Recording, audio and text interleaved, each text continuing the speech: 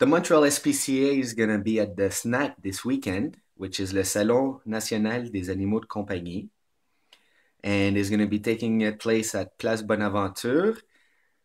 It's known as the 2014 Pet Festival, and Le SNAC is going to be celebrating its 15th anniversary. And it will be taking place from 10 a.m. to 7 p.m. on Saturday, November 9th, until 6 p.m. Sunday.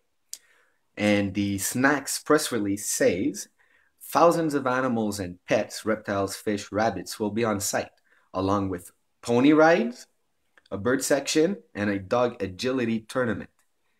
It goes on to say, needless to say, if you love animals, you'll be having lots of fun.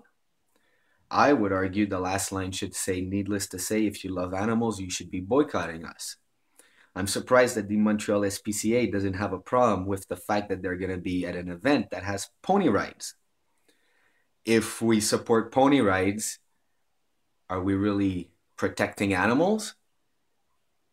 especially since the Montreal SPCA has a problem with the rodeo. So rodeo is not good, but pony rides indoor is acceptable.